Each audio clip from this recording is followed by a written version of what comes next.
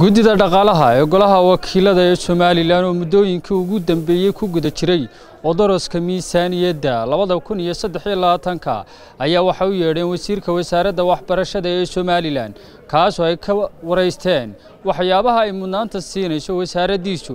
kulankan oo muddo saacadaha qaatay ayaa markii uu soo dhammaaday waxaa warbaahinta la hadlay wasiirka waxbarashada somalilan kaasoo oo ka xog warramay waxyaabaha ay ka wada hadleen guddida dhaqaalaha ee golaha wakiilada ee somalilan aad iyo aad baan ugu mahadnaqayaa guddiga dhaqaalaha iyo ganacsiga ee golaha wakiilada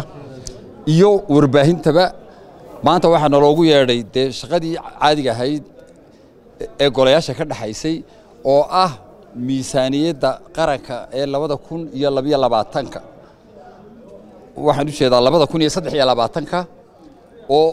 oo daraskeedii loo soo gudbiyey ay xukuumaddu u gudbisay golaha wakiilada. Markaa waxa waxaana laga weydiinayay sida caadiga ee sanad walba dhacda miisaaniyaddaasaa waxna laga weydiinayey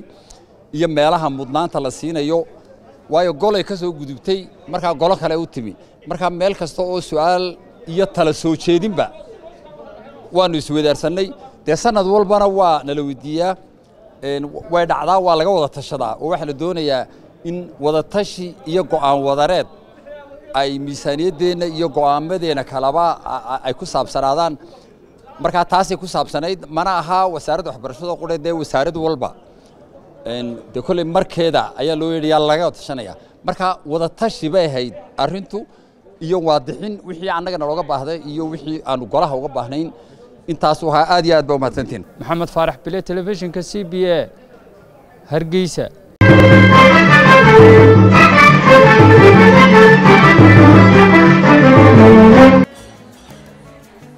واو اسبوع كيسو في عايز صاحبي waad ka heshay sooma ما شاء الله صح ما عادش بسيط waxaan ku shubtay xidhmo furan toban doolar baad ku shuban kartaa shan baad ku shuban kartaa shan iyo toban baad ku shuban kartaa labaatan baad ku shuban kartaa